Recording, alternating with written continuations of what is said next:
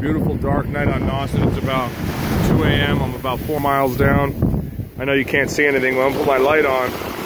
And if you're lucky, you're gonna see the bass in the last wave because they are right at the end of the uh, at the end of the water. Check it out.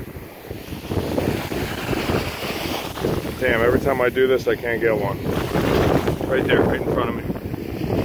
Boom. So they're everywhere. And I'll tell you what, they're gonna be in the last three cranks before you lift it out of the water, so low and slow.